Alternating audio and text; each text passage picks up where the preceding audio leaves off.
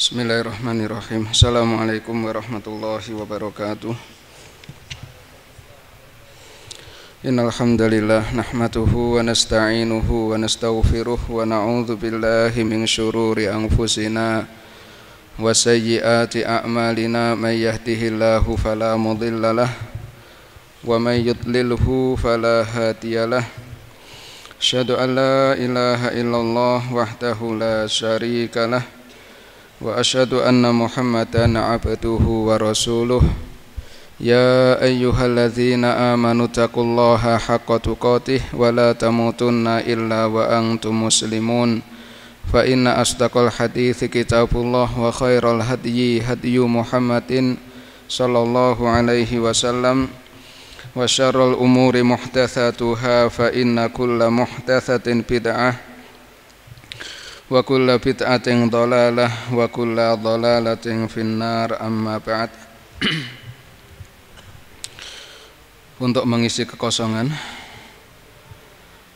maka kesempatan sore yang berbahagia ini kita gunakan untuk meneruskan membaca kitab sirah mempelajari tentang sejarah Rasulullah Shallallahu Alaihi Wasallam sejarah kehidupan beliau Pembahasan terakhir yang kita pelajari berkaitan tentang Umrah Hudaybiyah. Pada tahun 6 Hijriah Rasulullah sallallahu alaihi wasallam berniat untuk melakukan umrah bersama dengan para sahabatnya.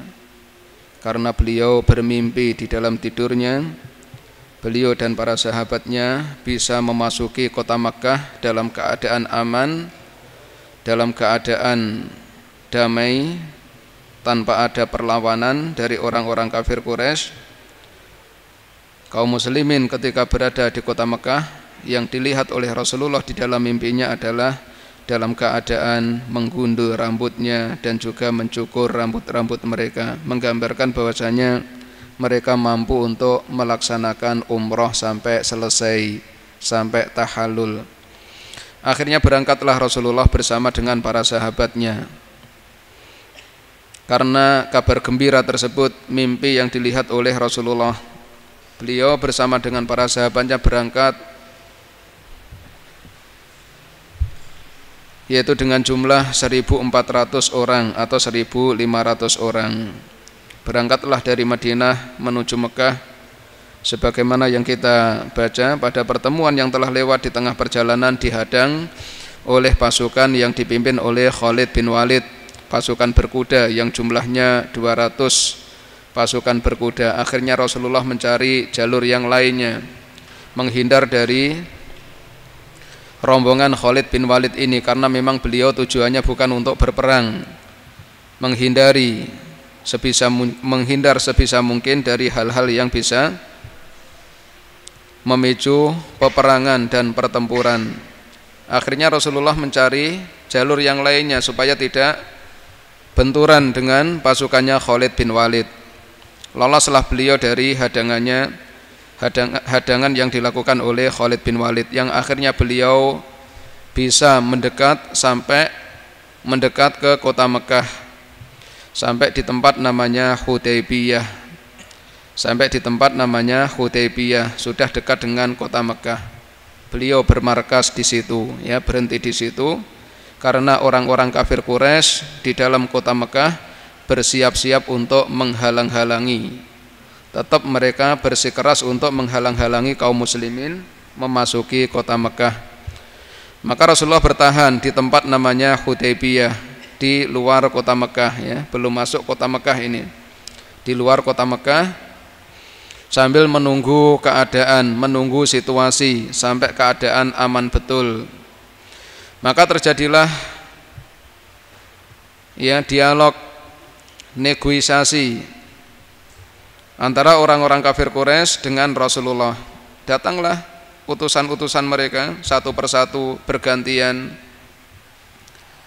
Yang intinya orang-orang kafir Quraisy tidak menginginkan kaum muslimin masuk ke kota Mekah Orang-orang kafir Quraisy tidak menginginkan ya tidak menghendaki kaum muslimin memasuki kota Mekah. Lalu Rasulullah menyampaikan kepada mereka utusan-utusan ini yang datang kepada beliau ya banyak di antaranya Mukriz bin Hafs di antaranya Hulais bin Ikrimah, ya di antaranya Urwah bin Mas'ud. Ini orang-orang yang diutus oleh orang-orang kafir Quraisy untuk menyampaikan pesan mereka supaya kaum muslimin tidak memasuki kota Mekah. Lalu Rasulullah mengatakan kepada para utusan ini bahwasanya kaum muslimin datang bukan untuk berperang, datang untuk beribadah kepada Allah Subhanahu wa taala. Dan dikatakan kami siap berembuk, siap berbicara baik-baik. Apa yang mereka inginkan ya bisa dibicarakan. Tapi kalau orang-orang kafir Quraisy mereka cuma menginginkan peperangan, kami siap untuk menghadapi mereka. Ini ultimatum yang disampaikan oleh kaum muslimin.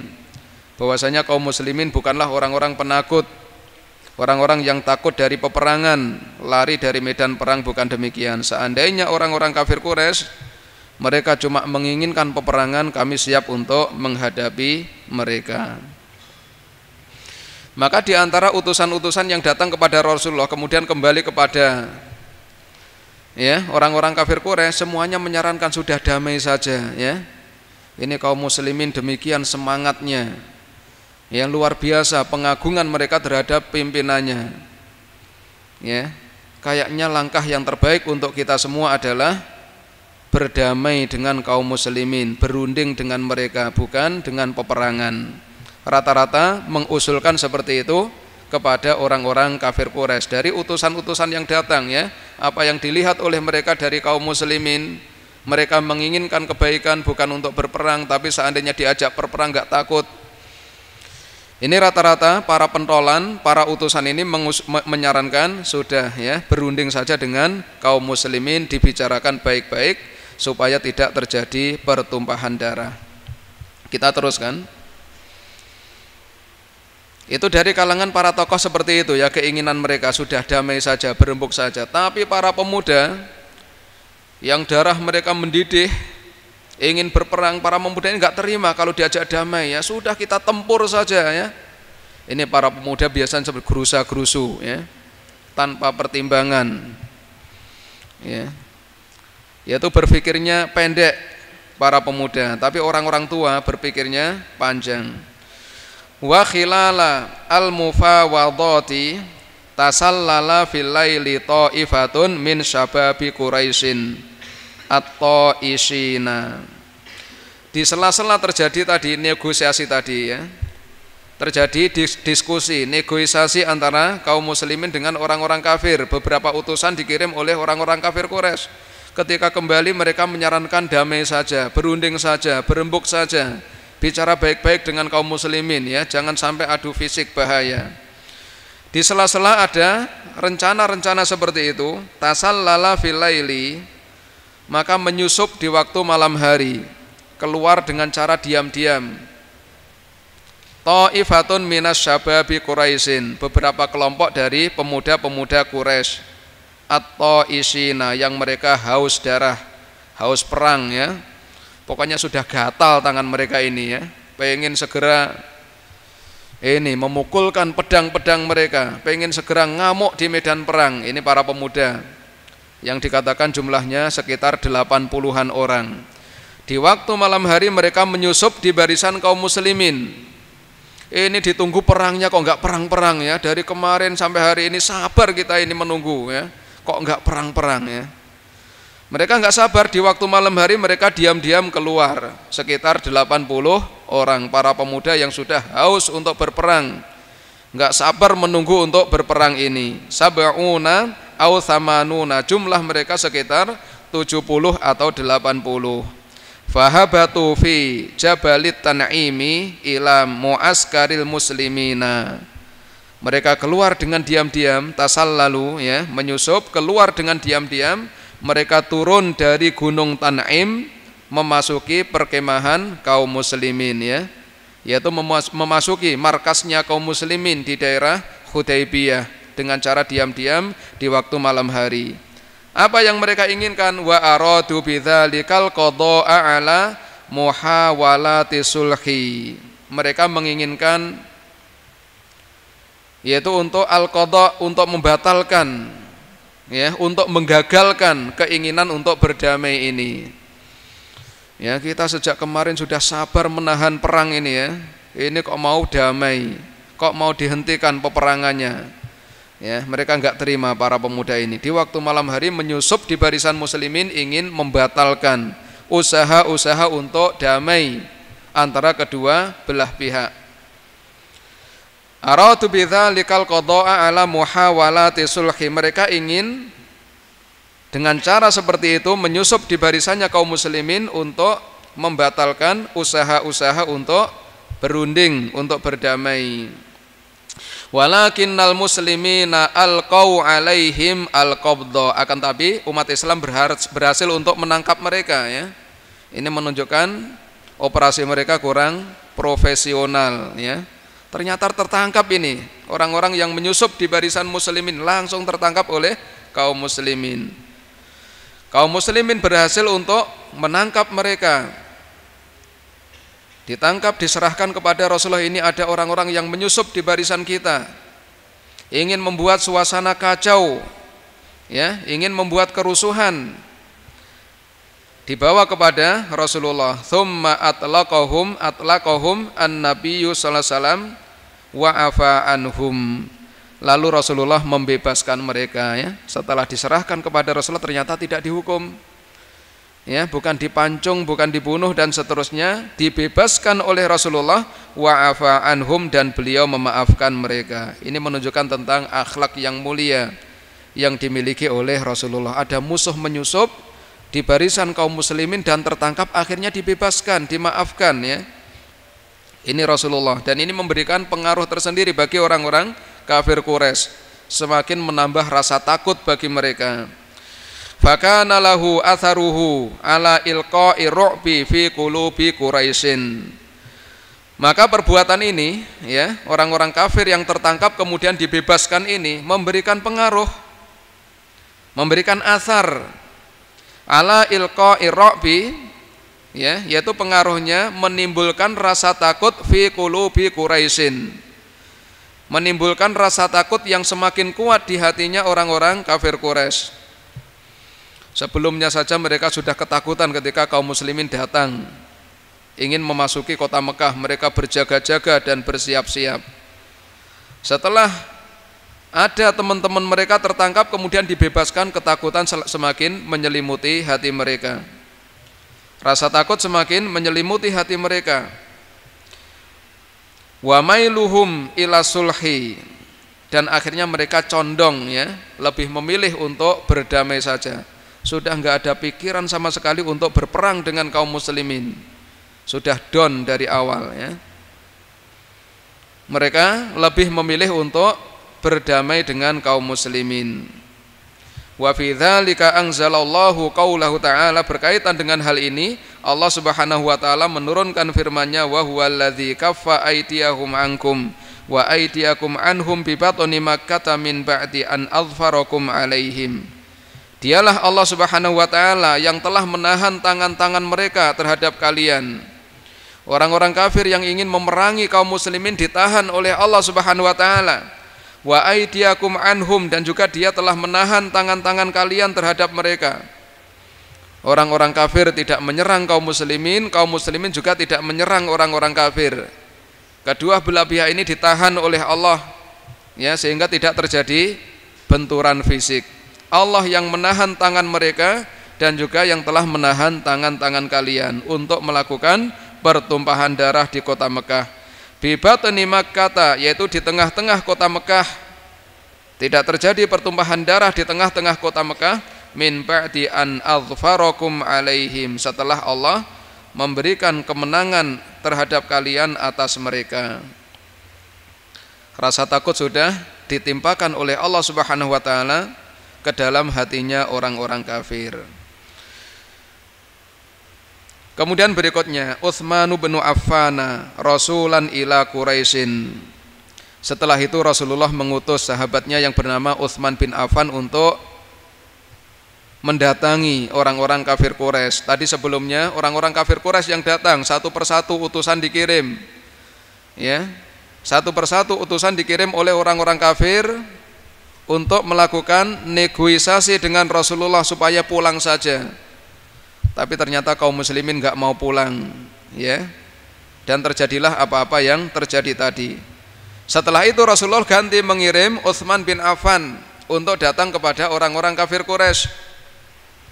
Berunding dengan mereka menyampaikan apa yang menjadi keinginan kaum muslimin datang ke kota Mekah. Wa bai'atu aridwana aridwani yang akhirnya terjadi baiat terjadi baiat namanya baiatur ridwan dilakukan di bawah sebuah pohon ketika terdengar ya beredar ber, apa, beredar berita bahwasanya Utsman bin Affan dibunuh oleh orang-orang kafir ketika datang kepada mereka Rasulullah langsung mengumpulkan para sahabatnya ya diajak untuk membaiat beliau memerangi orang-orang kafir untuk memberikan pembelaan terhadap Utsman bin Affan. Ini cuma isu yang beredar, ya kenyataannya tidak demikian. Rasulullah mengutus Utsman bin Affan sebagai seorang utusan datang kepada orang-orang kafir Quraisy dan juga terjadinya baiat Aridwan.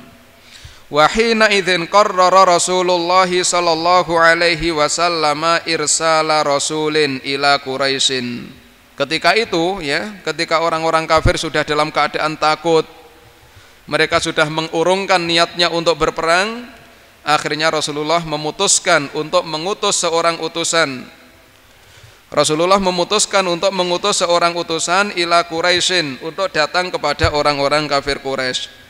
Yu'akkidu lahum annahu ma jaa illa lil umrati untuk menegaskan kepada mereka, meyakinkan kepada mereka bahwasanya beliau tidak datang melainkan untuk umroh. Ya, ditegaskan lagi. Sebelumnya mungkin mereka cuma mendengar dari utusan mereka. Ketika diutus satu datang kemudian pulang menyampaikan ini Muhammad niatnya untuk umroh bukan untuk yang lainnya. Ya. Semua utusan yang dikirim oleh orang-orang kafir disampaikan seperti itu. Lalu Rasulullah mengutus sendiri utusan kepada mereka untuk menegaskan bahwasanya kaum muslimin tidaklah datang ke kota Mekah illa lil umrati melainkan untuk melakukan umroh beribadah kepada Allah. Fa arsala Utsman bin Affan radhiyallahu anhu. Maka yang diutus oleh beliau adalah sahabat Utsman bin Affan radhiyallahu anhu. Termasuk salah seorang sahabat yang masih disegani ya dimuliakan oleh orang-orang kafir Quraisy. Karena kemuliaan yang dimiliki oleh Utsman bin Affan. Dia termasuk orang yang mulia, dihormati ketika di kota Mekah dulu. Walaupun sudah masuk ke dalam agama Islam, ya mereka tetap menghormatinya. Maka ini Utsman bin Affan yang diutus oleh Rasulullah sallallahu alaihi wasallam. Wa amarahu aidan ayyatiyal mustad'afina minal mu'minina wal mu'minati bi Makkah. Beliau juga memerintahkan Utsman bin Affan supaya nyambangi ya, mengunjungi, mendatangi orang-orang lemah al-mustad'afin. Orang-orang yang lemah dari kalangan orang-orang yang beriman baik laki-laki maupun perempuan yang mereka enggak bisa hijrah. Karena tidak semua kaum muslimin bisa hijrah ke kota Madinah. Ya, banyak di sana dari kalangan mustad'afin orang-orang yang lemah tidak memiliki kemampuan untuk hijrah tetap bertahan di kota Mekah hidup bersama dengan orang-orang kafir Quraisy di bawah tekanan-tekanan orang-orang kafir Quraisy. Nah ini Rasulullah berpesan juga ya nanti kalau sudah sampai Mekah datangi mereka. Orang-orang yang beriman baik laki-laki maupun perempuan yang tidak mampu untuk hijrah ke kota Madinah dari kalangan orang-orang yang lemah untuk memberikan kabar gembira kepada mereka kemenangan akan datang Ya, jangan sedih, jangan susah. Insya Allah sebentar lagi kemenangan akan diberikan oleh Allah Subhanahu Wa Taala. Yang selama ini mungkin kota Mekah dikuasai oleh orang-orang kafir, ya jangan khawatir. Insya Allah tidak lama lagi kota Mekah akan jatuh ke tangan kaum muslimin. Sampaikan kabar gembira kepada mereka. Rasulullah memerintahkan Utsman bin Affan untuk mendatangi orang-orang yang beriman, baik laki-laki maupun yang lemah, baik laki-laki maupun perempuan, dari kalangan orang-orang yang lemah yang tidak ikut hijrah ke kota Madinah. Fayubashiruhum biqurbil fathi ya untuk memberikan kabar gembira kepada mereka dengan dekatnya kemenangan. Dekatnya penaklukan kota Mekah yang tidak lama lagi kota Mekah akan berhasil di bawah kekuasaan kaum muslimin yang selama ini dikendalikan dikuasai oleh orang-orang kafir Quraisy. Wa annallaha mudhirun tinahu dan sesungguhnya Allah akan menampakkan agamanya. Allah Subhanahu wa taala akan memenangkan agamanya hatta la yastakhfiya fi Makkah ahadun bil imani sehingga tidak ada seorang pun di kota Mekah yang sembunyi-sembunyi dengan keimanannya ya. Dia mau sholat, sholatnya bersembunyi supaya tidak kelihatan oleh orang-orang kafir ya. Ini biasanya kaum muslimin yang minoritas seperti itu ya, bikin masjid juga masjidnya nggak kelihatan kayak rumah biasa. Ketika mengadakan taklim juga sembunyi-sembunyi, ketika sholat juga di tempat yang tertutup. Ini kaum muslimin yang berada di tempat-tempat yang mereka keadaannya minoritas. Maka seperti itu waktu tersebut ya al-mustad'afun orang-orang Islam yang dalam keadaan lemah hidup di tengah-tengah orang-orang kafir Quraisy. Mereka sembunyi-sembunyi dengan keimanan mereka, ya. Sampaikan kepada mereka, sebentar lagi kemenangan akan diberikan oleh Allah Subhanahu wa taala sehingga tidak ada seorang pun di kota Mekah yang menyembunyikan keimanannya. Mereka semua akan bangga dengan keimanan yang mereka miliki dan menampakkan keimanan yang mereka miliki. Wa dakhala Utsman radhiyallahu anhu fi Makkah fi jiwari Aban bin Sa'din al-Umawi. Utsman bin Affan memasuki kota Mekah di bawah jaminan ya. Jaminan itu kalau sekarang diberi visa. Visa itu adalah surat izin untuk memasuki suatu negeri. Orang luar negeri ingin memasuki negeri orang lain yang enggak sembarangan, harus ada visanya. Apa itu visa? Surat izin yang dengan ini dia dijamin untuk mendapatkan keamanan. Kepala negara sudah mengizinkan orang ini untuk masuk maka dijamin keamanannya. Nah ini Uthman bin Affan ketika memasuki kota Mekah dia berada di bawah jaminan seseorang yang bernama Aban bin Sa'ad al-Umawi. Sehingga kalau sudah ada yang memberikan jaminan seperti ini nggak boleh diganggu ya dia tahta jiwari. Orang ini berada di bawah jaminan saya. Saya yang menjamin dia untuk mendapatkan keamanan maka tidak boleh diganggu. Uthman bin Affan memasuki kota Mekah dengan jaminan laki-laki tersebut Aban bin Sa'ad. Aban bin Sa'id al-Umawi. Fabalaghar ras risalata. Lalu Uthman bin Affan menyampaikan risalah pesan yang disampaikan oleh Rasulullah meyakinkan mereka bahwasanya kaum muslimin datang ke kota Mekah tujuannya hanya untuk melakukan umrah. Wa aradu alaihi ayyatufa bil baiti. Lalu orang-orang kafir Quraisy menawarkan kepada dirinya untuk tawaf di Ka'bah.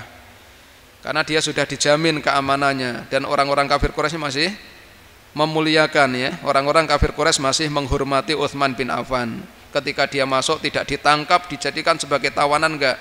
Dimuliakan. Ya tafadhol kalau mau tawaf. Diizinkan. Wa aradu alaihi. Orang-orang kafir Quraisy menawarkan kepada dirinya ayatu fabil baiti untuk melakukan tawaf di Ka'bah. Tapi apa yang dikatakan oleh Utsman ketika ada tawaran seperti itu? Fa'aba ayyatufa dia enggan enggak mau. Ya enggak mau dia tawaf mendahului Rasulullah Sallallahu alaihi nggak punya adab ini. Rasulullah saja pimpinannya di belakang nggak bisa tawaf, dia anak buah melakukan tawaf sendiri. Kurang ajar ini ya. Dia menolak ketika ditawari untuk melakukan tawaf di Ka'bah. Fa'aba ayyatufa. Wa Rasulullah sallallahu mamnuun ya. Dia enggan untuk melakukan tawaf sementara Rasulullah dihalang-halangi untuk melakukan tawaf. Wong pimpinannya saja nggak bisa melakukan tawaf, kok dia ya melakukan tawaf. Sehingga walaupun diberi kesempatan seperti itu dia menolak. Wa habasat quraisyun utsmana lalu orang-orang kafir Quraisy ini menahan Utsman bin Affan. Menahan Utsman bin Affan radhiyallahu anhu. Apa tujuannya? Wala'allahum aratu ayyatashawaru fi ma bainahum. Barangkali mereka ingin bermusyawarah di antara mereka. Utsman kamu tahan di sini dulu ya kamu diam di sini. Kami berembuk dengan saudara-saudara kami. Kami berembuk dengan pentolan-pentolan kami orang-orang kafir Quraisy. Bagaimana sikap kami untuk menghadapi kalian? sikap kami terhadap kalian ya. Sehingga nanti harapannya kalau Uthman kembali kepada mereka sudah ada jawaban dari orang-orang kafir Quraisy ini. Orang-orang kafir Quraisy menahan Uthman bin Affan ya, kamu diam di sini. Mungkin mereka ingin berembuk sesama mereka. Thumma yursiluhu ma'al jawabi. Kemudian melepaskan Uthman bin Affan disertai dengan jawabannya. Apa jawaban yang mereka sampaikan terhadap kaum muslimin? Ya, boleh atau enggak kaum muslimin melakukan umroh tahun tersebut? Ya, diizinkan masuk ataukah terpaksa mereka harus pulang lagi ini Uthman bin Affan ya disuruh untuk diam sejenak tunggu kami bermusyawarah kami berembuk sesama kami sehingga nanti kalau kamu kembali kepada Rasulullah ya kepada rombonganmu sudah ada jawaban dari kami wasya'a bainal muslimina annahu kutila tapi berita yang tersebar di kalangan kaum muslimin Uthman bin Affan dibunuh oleh orang-orang kafir Quraisy. Kenyataannya diapakan tadi? Ditahan ya. Yaitu ditahan, diamankan oleh orang-orang kafir Quraisy menunggu mereka berembuk, mereka bermusyawarah. Kalau sudah ada jawaban, kesepakatan di antara mereka, Uthman dilepaskan, ya kembali kepada Rasulullah bersama dengan jawaban yang disampaikan oleh mereka. Tapi berita yang tersebar annahu kutila. Berita yang tersebar di kalangan kaum muslimin Uthman ditangkap oleh orang-orang kafir Quraisy dan katanya dibunuh. Ini berita yang beredar. Berita yang tersebar seperti itu. Wa sya'a bainal muslimina annahu kutila. Wa rasuli yakni al-i'lana 'anil harbi. Ini perhatikan. Kalau ada utusan kok sampai dibunuh maknanya apa? Mengumandangkan untuk berperang ini tantangan ini ya ini orofnya adatnya kalau ada kurir disuruh untuk menyampaikan surat nggak boleh kurir ini dibunuh, nggak boleh diganggu. Kalau sampai kurir ini diganggu, apalagi sampai terbunuh berarti tantangan, ya, berarti menantang, mengajak berperang. Kurir harus diberikan keamanan, dia ditugaskan untuk menyampaikan surat oleh seorang raja, harus diamankan, dijamin keamanannya, ya. Wa qatlu rasuli membunuh seorang utusan yakni maknanya adalah al-i'lanu anil harbi. Seolah-olah mengumandangkan mengajak berperang ya. Ini kurir walaupun sejelek apa pun, sehina apa pun namanya kurir nggak boleh dibunuh. Yang diutus untuk menyampaikan pesan dari sang raja. Harus kembali dalam keadaan selamat. Ya, harus kembali dalam keadaan selamat. Falamma sami'a Rasulullah sallallahu alaihi wasallam ketika Rasulullah mendengar berita ini ya, mendengar berita yang beredar bahwasanya Utsman bin Affan dibunuh oleh orang-orang kafir, qala beliau mengatakan la nabrahu hatta nujaziza al qauma ya, kita tidak meninggalkan tempat ini sehingga kita memerangi kaum tersebut. Karena membunuh utusan maknanya mereka menantang untuk berperang. Ya, ini adalah penghinaan, pelecehan, ada utusan kok dibunuh. Ya. Tidak boleh didiamkan. Kalau sampai kita mendiamkan seperti ini adalah kehinaan buat kita semua. Kalau kita mendengar ada utusan kita sampai dibunuh, kemudian kita diam, tidak bertindak, ini adalah kehinaan buat kita semua ya. Sehingga Rasulullah mengiklankan di hadapan para sahabatnya la nabrahu, kita tetap berada di sini. Kita tidak meninggalkan tempat ini hatta nujazi nujazi nunajizal qauma. Sehingga kita memerangi kaum tersebut. Sehingga kita berperang dengan orang-orang kafir Quraisy. Wada'an nasa wa huwa tahta syajaratin. Beliau mengumpulkan para sahabatnya dan beliau berada di bawah sebuah pohon ayyubayi'uhu alal kitali untuk memberikan baiatnya kepada Rasulullah untuk berperang sampai titik darah penghabisan untuk memberikan penghormatan kepada Uthman bin Affan yang dibunuh oleh orang-orang kafir. Para sahabatnya langsung dikumpulkan dipanggil memberikan baiat memberikan kesetiaan kepada beliau untuk ikut berperang. Dan tidak lari dari medan perang sampai titik darah penghabisan. Ya mendapatkan kemenangan atau mungkin mati syahid seperti itu. Rasulullah langsung mengumpulkan para sahabatnya ta'an nasa menyeru para manusia wa huwa tahta syajaratin memerintahkan para sahabatnya beliau berada di bawah sebuah pohon ayyubayi'uhu alal kital untuk memberikan baiat kepada beliau membaiat beliau alal kital fatharon nasu ilaihi maka bangkitlah seluruh para sahabat mendatangi Rasulullah memberikan baiatnya satu persatu. Ya tidak ada satupun yang membangkang tidak ada satupun yang menghindar dari memberikan bayat tersebut. Wabaya'uhu bihamasin alal mauti dan mereka memberikan bayat kepada Rasulullah dengan semangat sekali. Ya dengan bayat yang pasti semangat alal mauti di atas kematian. Maknanya siap berjuang bersama Rasulullah sampai titik darah penghabisan wa ala alla yafirru dan juga berjanji setia untuk tidak kabur dari medan perang. Ya berjanji setia untuk tidak lari dari medan perang apa pun yang terjadi.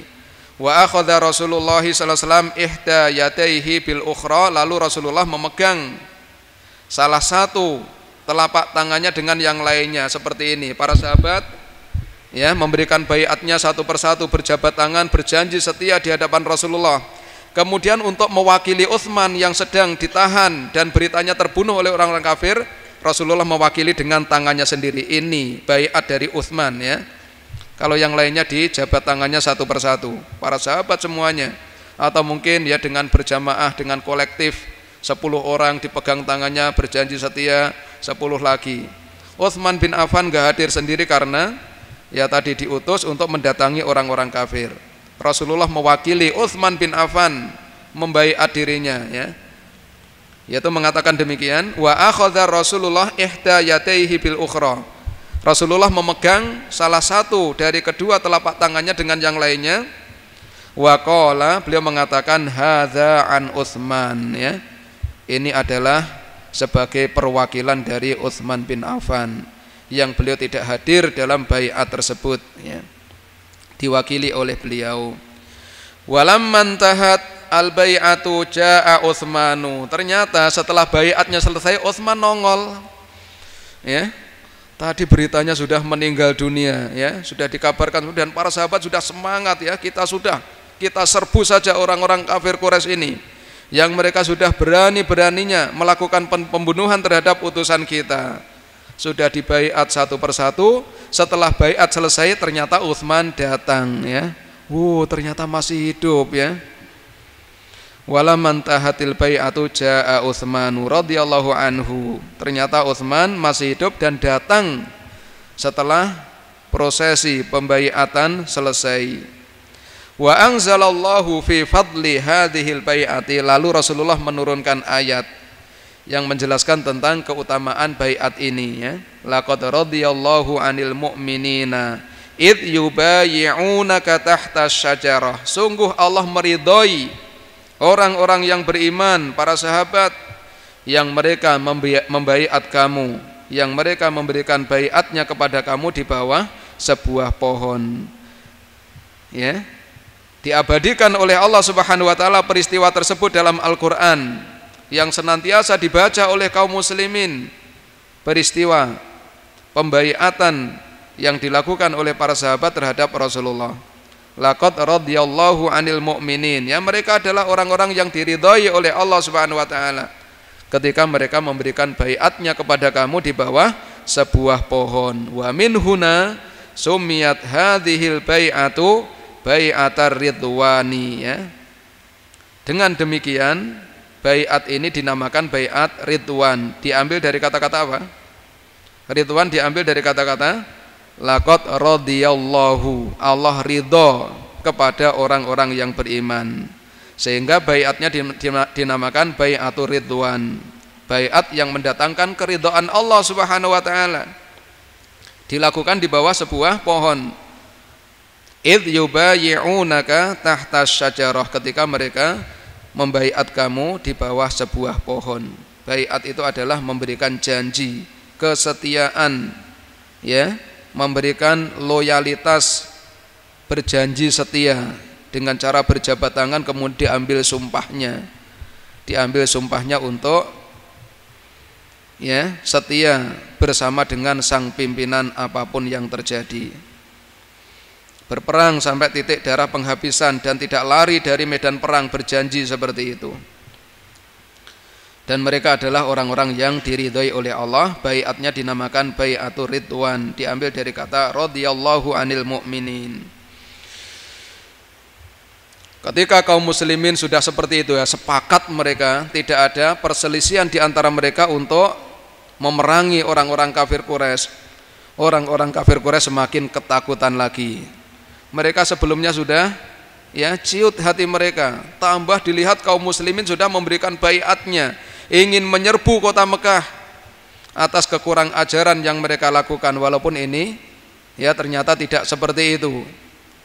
Berita yang berkembang ternyata tidak benar berita tersebut.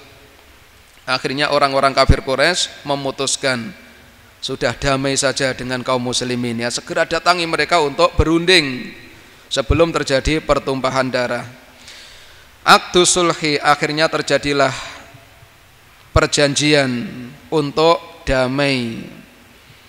Akhirnya terjadilah dari kedua belah pihak perjanjian untuk damai, ya, kesepakatan untuk damai. Dan kesepakatan tersebut dinamakan dengan Sulhul Hudaybiyah. Wa sami'at Quraisyun bihadhil bai'ati fadakhalahum ru'bun azimun Orang-orang kafir Quraisy mendengar tentang bayat ini. Ternyata kaum muslimin sudah kompak semuanya, satu suara.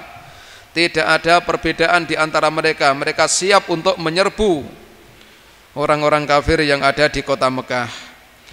Ketika mereka mendengar ini, ya, para sahabat sudah memberikan bayatnya kepada Rasulullah. Dakhalahum ru'bun azimun, menimpa mereka ketakutan yang luar biasa Sebelumnya ketakutan sudah menghid, apa?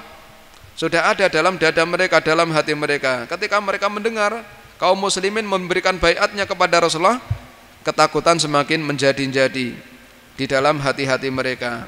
Wa asra'u bi irsali Suhail bin Amrin maka mereka bergegas untuk mengutus seseorang yang bernama Suhail bin Amr liakti sulhi ya untuk mengikat perjanjian damai. Segera datang ke sana sebelum mereka menyerbu kita ya. Sebelum mereka masuk ke kota Mekah segera datangi mereka. Diajak ngomong baik-baik ya. Cepat diajak berunding. Yang penting tidak terjadi peperangan. Liakti sulhi untuk mengikat perjanjian damai faja'a. Maka datanglah Suhel bin Amr.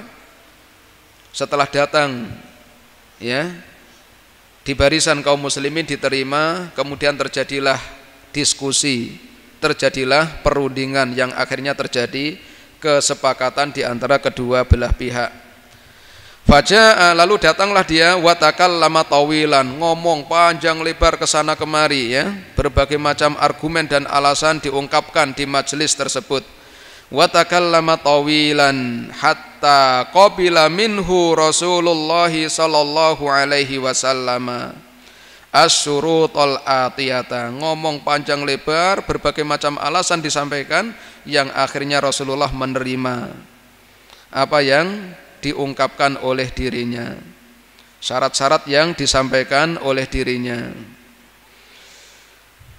Yang akhirnya terjadilah ya empat poin kesepakatan. Walaupun secara zahir ini merugikan kaum muslimin. Kesepakatan yang tidak adil ya keuntungan.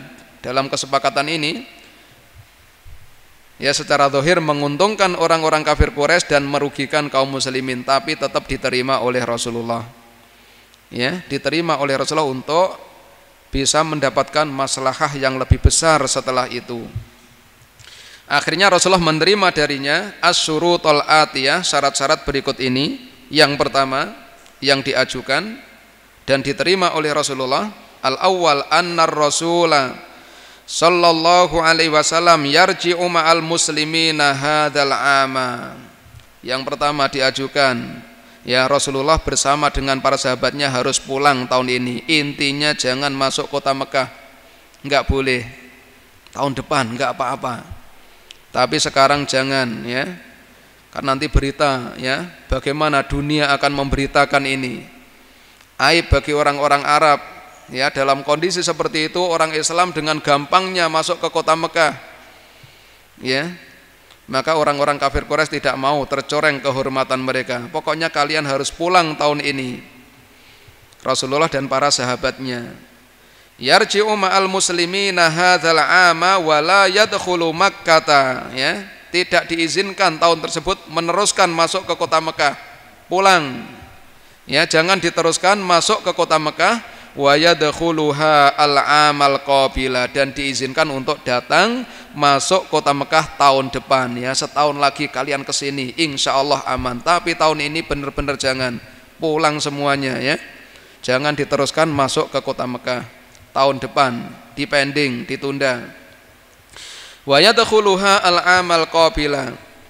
Dan diizinkan untuk masuk tahun depan fayuqimu biha salasata ayyamin. Lihat kecurangannya. Tahun depan diizinkan masuk.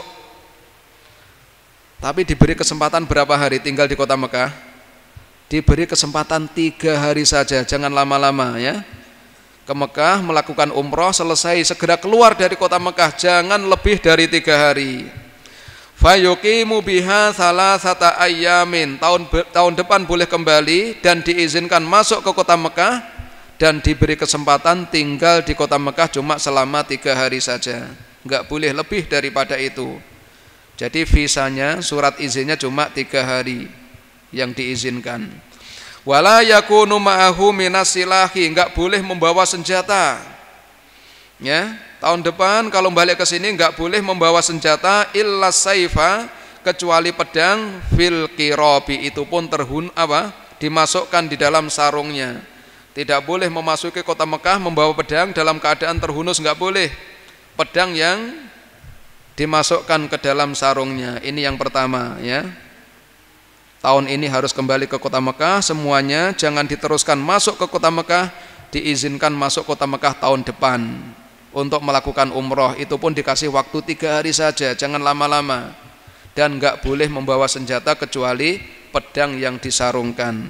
Yang kedua Athani tudha'ul harbu bainal fariqaini asrosinina terjadi gencatan senjata antara kedua belah pihak selama 10 tahun ya. Dari tahun sekarang sampai 10 tahun ke depan sudah nggak usah terjadi peperangan. Makanya kaum muslimin ya diberi kesempatan untuk memasuki kota Mekah tanpa ada perlawanan dari mereka. Yaitu terjadi kesempat, kesepakatan yaitu untuk melakukan gencatan senjata. Apa itu gencatan senjata? Tidak saling memerangi ya. Tidak berperang walaupun situasi panas ya tidak ada kecocokan tapi jangan sampai berperang. Antara kedua belah pihak tidak boleh saling memerangi selama asrosinin selama 10 tahun ini damai, tenang, tidak perang ya walaupun kami dan kalian gak cocok terjadi perbedaan tapi jangan sampai terjadi peperangan. Yang ketiga man arada ayyad khulafi ahdi Muhammadin sallallahu wasallam dakhala fihi.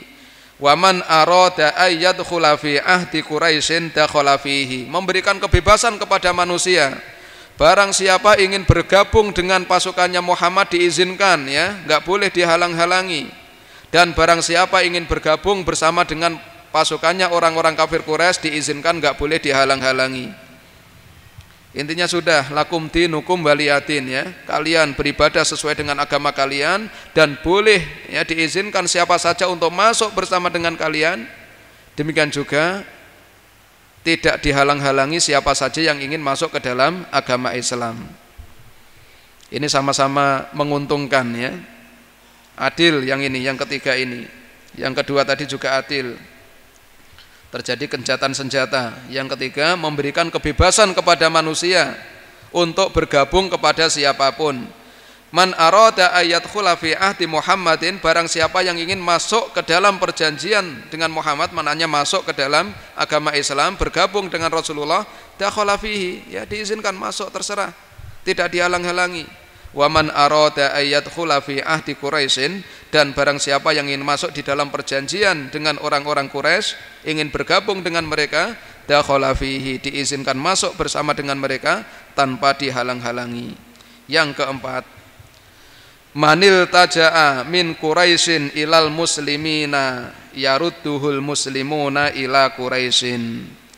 Apabila ada orang Quraisy berlindung ya atau lari bergabung kepada kaum muslimin yaruduhul muslimuna. Orang Islam harus mengembalikan ila Quraisyin ya. Nanti kalau ada kelompok kami kok lari berlindung kepada kalian kalian harus mengembalikan kepada kami ya. Nggak boleh kalian lindungi. Kalian harus mengembalikan ini anak buah kami yang lari berlindung kepada kalian Wa manil taja'a minal muslimina ila Quraisyin dan barang siapa berlindung dari kalangan umat Islam berlindungnya kepada orang-orang kafir Quraisy. Kalau ada orang Islam lari ya berlindung kepada orang-orang kafir Quraisy berada di bawah kekuasaan mereka dikatakan la tarudduhu Quraisyun ilal muslimin. Orang-orang kafir Quraisy enggak ada kewajiban untuk mengembalikan kepada kaum muslimin. Enggak adil ini, ya zalim ini. Mereka mau menang sendiri. Ya, kalau ada yang lari kepada kaum muslimin harus dikembalikan. Tapi kalau kaum, kaum muslimin lari kepada mereka tidak ada kewajiban untuk mengembalikan. Tapi semuanya disepakati, disetujui oleh Rasulullah. Disetujui oleh beliau empat poin ini. Sesuatu yang diajukan oleh orang-orang kafir Quraisy melalui perwakilannya Suhel bin Amr. Diterima oleh Rasulullah. Thumma da'a aliyan wa amla alaihi ayyaktuba bismillahirrahmanirrahim. Setelah disepakati diiyakan diterima Rasulullah memanggil Ali bin Abi Thalib. Wa amla alaihi mengimla mendikte kepada Ali bin Abi Thalib supaya perjanjian ini ditulis bismillahirrahmanirrahim ya. Ini di awal perjanjian ini tulis bismillahirrahmanirrahim. Faqala suhailun ketika di atas perjanjian ini mau ditulis basmalah Suhel mengatakan mana dari marrahman. Kami nggak ngerti apa itu ar-rahman. Bismillahirrahmanirrahim ya. Mereka nggak kenal tentang sifat-sifat Allah subhanahu wa ta'ala. Tidak mengenal nama-nama Allah subhanahu tahunya cuma Allah ya pencipta. Adapun nama-nama dan sifat-sifatnya mereka tidak mengenal. Mana dari marrahman. Kami nggak tahu apa itu ar-rahman. Uktub bismikallahumma. Ya tulis gitu aja. Bismikallahumma nggak usah Ar-Rahman Ar-Rahim kami nggak kenal itu apa itu ya. Ini tetap ada ya hal-hal seperti itu. Uktub bismikallahumma. Sudah ditulis. Bismikallahumma yang penting. Ya jalan gitu aja. Dituruti apa maunya. Dituruti apa maunya yang penting tahun depan kita bisa umroh tanpa ada halangan dan rintangan dari mereka. Ditulis bismikallahumma. Yang tadinya di perintahkan oleh Rasulullah didiktekan untuk menulis Bismillahirrahmanirrahim ditolak oleh Suhel bin Amr. Tulis aja Bismikallahumma. Fa'amarahu Rasulullah sallallahu ayyaktuba dzalika. Lalu Rasulullah memerintahkan untuk ditulis. Sudah itu aja ditulis. Bismikallahumma sama aja ya. Karena Ar-Rahman Ar-Rahim juga Allah Subhanahu wa taala. Thumma amla kemudian Rasulullah mendikte lagi, tulis lagi Utsman Aba Ali ini tulis bismika Allahumma selesai. Tulis lagi. Hadza ma salaha alaihi Muhammadun Rasulullah. Inilah apa yang disepakati oleh Muhammad utusan Allah Subhanahu wa taala. Inilah perjanjian yang disepakati oleh Muhammad utusan Allah Subhanahu wa taala. Ali diperintahkan untuk menulis kata-kata tersebut. Ini perjanjian yang telah diterima dan disepakati oleh Muhammad yang dia utusan Allah. Nanti beliau akan bertanda tangan. Faqala suhailun suhail mengatakan ya tetap ada saja maunya ini. Lau na'lamu annaka rasulullahi ma sadadnaka anil baiti. Seandainya kami mengakui ya kamu itu adalah utusan Allah sungguh kami tidak akan menghalang-halangi kamu untuk melakukan tawaf di Ka'bah Ya kenapa kami kok keberatan kamu ini tawaf di Ka'bah kami kami nggak mengakui kalau kamu itu adalah utusan Allah. Maka ketika ditulis Muhammadun Rasulullah keberatan ya. Ketika ditulis Muhammadun Rasulullah jangan seperti itu ya. Kami nggak mengakui kalau kamu utusan Allah. Seandainya kami mengakui, sudah kami memberikan kelonggaran selonggar-longgarnya untuk supaya kamu bisa tawaf bersama dengan para pengikutmu. Tapi karena kami enggak mengakui sudah, ya kami melarang, menghalang-halangi. Lau na'lamu annaka rasulullahi annaka rasulullahi ma sadatnaka anil baiti wala qatalnaka dan kami tidak akan memerangi kamu. Walakin uktub akan tapi tulislah ya, jangan Muhammadun Rasulullah tulis Muhammadun ibnu Abdullah. Ya tulis saja Muhammad anaknya Abdullah. Jangan dikatakan Muhammad utusan Allah. Kami enggak mengakui ini utusan Allah ini. Kami tahunya kamu itu adalah anaknya Abdullah ya. Ini adalah kesepakatan yang telah disetujui oleh Muhammad bin Abdullah. Sudah ditulis seperti itu. Faqala Rasulullah mengatakan, "Inni Rasulullahi wa in kadzabtumuni." Saya adalah utusan Allah walaupun kalian mendustakan. Walaupun kalian tidak percaya, walaupun kalian tidak mengakui kenyataannya saya adalah utusan Allah Subhanahu wa taala. Wa amara aliyan ayyam dzalika. Tapi Rasulullah tetap memerintahkan Ali hapus itu kata-kata Rasulullah. Orang ini keberatan ya. Orang ini keberatan untuk ditulis Rasulullah. Ya dihapus itu kata-kata Rasulullah. Amara aliyan ayyam dzalika wa yaktubu Muhammad bin Abdullah dan diperintahkan untuk menulis wa yaktuba Muhammad bin Abdullah dan diperintahkan untuk menulis Muhammad bin Abdullah Famtana aliyun alal mahwi tapi Ali enggan untuk menghapusnya ya. Kurang ajar ini kalau sampai kata-kata Rasulullah dihapuskan ya. Enggan Ali untuk melaksanakan keberatan untuk melaksanakan perintah tersebut. Famahahu sallallahu alaihi wasallam biyadihi syarifati. Lalu kata-kata tersebut dihapuskan sendiri oleh Rasulullah. Ketika Ali ya enggan untuk menghapusnya, Lalu kata-kata tersebut dihapus sendiri oleh Rasulullah dengan tangannya yang mulia. Wa kutibat khotani lalu kesepakatan ini ditulis dua nuskhoh, dua lembar, dua eksemplar ya. Masing-masing kedua belah pihak memiliki sendiri-sendiri.